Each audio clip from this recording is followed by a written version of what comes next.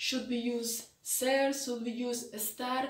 This is a very common question that I get and it's normal because they both have very similar meanings and are translated as the same verb in English, to be. Listen, my main tip would be to think as ser as a more permanent thing, right? When we're talking about identity, what's my name?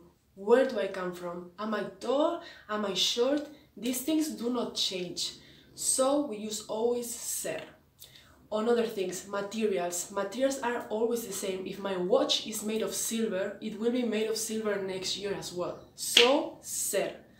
Jobs. Of course, you can change your job.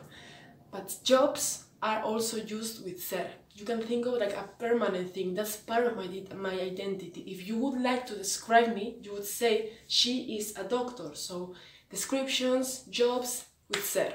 Okay. We also use ser when we want to assess the value of something. If you want to say, um, eating fruit is healthy, that's your opinion, so you use ser.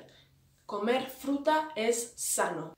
And also, when you want to talk about the time, we use ser. What time is it? ¿Qué hora es? Son las doce.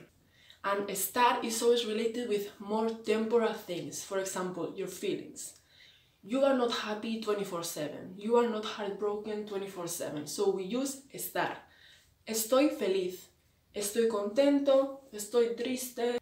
We also use estar when you want to talk about your ubication. Where are you? Estar. Estoy en casa. I'm at home. Estoy en España. I'm in Spain. And we also use estar when we want to talk about how an action is developing. Like if I'm eating right now, we use estar and the gerund. So you would say estoy comiendo.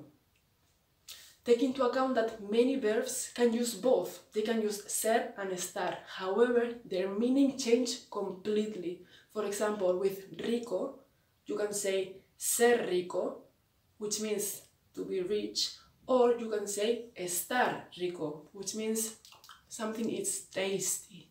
So, hope this was useful. See you next time.